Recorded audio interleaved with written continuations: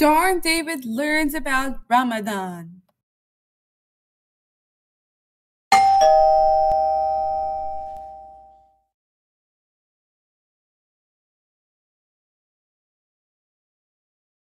Assalamu alaikum. Wa alaikum salam. Assalamu alaikum. Wa alaikum salam. Why are you saying hello in a different way? This is called salam. Salam means peace upon you. Assalamu alaikum. Wa alaikum salam. Assalamu alaikum. Wa alaikum salam. Assalamu alaikum. Wa Wa alaikum alaikum salam. salam. I guess it's time for lunch. We can't have lunch today, instead we are going to have iftar. Because we are fasting. But I am hungry. Just wait, because it is Ramadan, we have to fast for a whole month or 30 days. What is Ramadan? And what is iftar?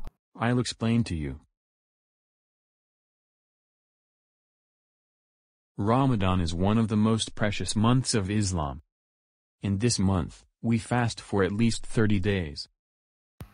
But Adam, what is iftar and why do we have to fast for 30 days? We have to fast, so we can gain blessings from Allah. Oh! And if we miss a day or two or how much days you need to miss, you will need to fast next month on how much days you skipped to fast. And iftar is when we get to break our fast, iftar is at Maghrib. Now I see why you're fasting. Now you know what is Ramadan, and why do we fast? Yes. Yes. Allahu Akbar. This is the best iftar ever. Alhamdulillah, it is the best. What is Alhamdulillah? It means thank you to Allah. Alhamdulillah. If you enjoyed this educational video, you should watch more of our videos on YouTube. See you on our next video. Bye bye.